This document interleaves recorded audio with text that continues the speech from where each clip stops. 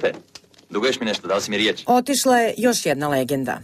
Sinoć u bolnici Sveti Sava u snu preminuo je Velimir Bata Živojinović. U vreme vaskršnjih i prvominskih praznika zdravlje Bate Živojinovića nago se pogoršalo.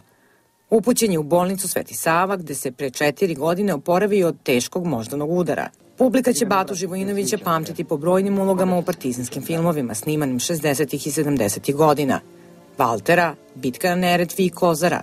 Jedan od saradnika iz tog perioda je i Veljko Bulajić. Toliko smo dobri prijatelji bili da kada jedan put na snimanju rano ujutro došao je rekao mi, znaš, kaže, dobio sam sida. I on je fino, čestitam ti, ali kaže, ne znaš jednu stvar, da sam mu dao ime po tvom ocu, Miljko.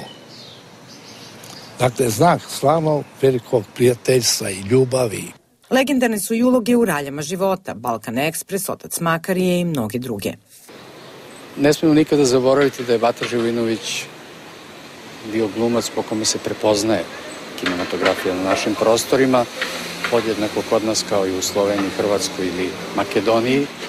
Posle raspada Jugoslavije pravljene su razne ankete i proglašavani su najbolji filmovi tih sredina. Vrlo često u tim filmovima Bata Živinović igrao glavnu ulogu, recimo u filmu Breza Ante Babaja koji je proglašen za najbolji hrvatski film. Imao je običaj da kaže kako je glumio na svim jezicima naroda i narodnosti.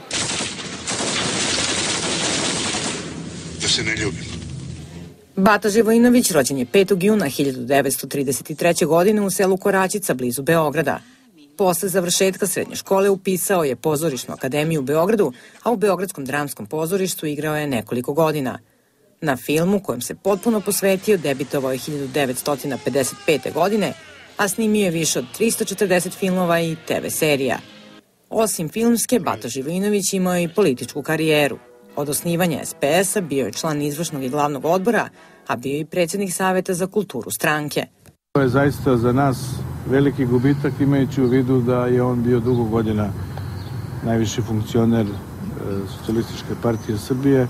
Ostaće svakako velika, e, velika praznina i mi ćemo se potruditi da e, sve ono što je on uradio nikako ne ostane i ne padne u zaborav.